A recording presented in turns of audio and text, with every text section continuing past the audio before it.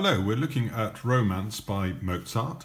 Um, the right hand part in the first phrase, you start with your second finger up here on E, and we've got two short notes followed by a long held note. So it goes E, E, and then you hold for three quavers, two, three, four finger, third, thumb, third, five, fourth, hold on to that so that can all be done in one fixed position there. In the left hand, you've got your second finger on C, and you're going to do three C's, but instead of holding the third note, it's going to move on in quavers. So it goes C, rest, C, rest, C, little finger on G, back to the C. Now move your thumb up to E, let the rest of your fingers come up, two, four, two, move your thumb up to F, let your rest of your fingers travel up, two, four, two. Right, we're going to put those two bits together here. So you've got E up here with your second,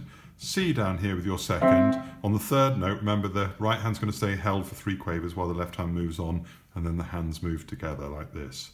So you get together, rest, together, rest. Then you play it again. Hold the right one, the left hand carries on. Now thumb moves up.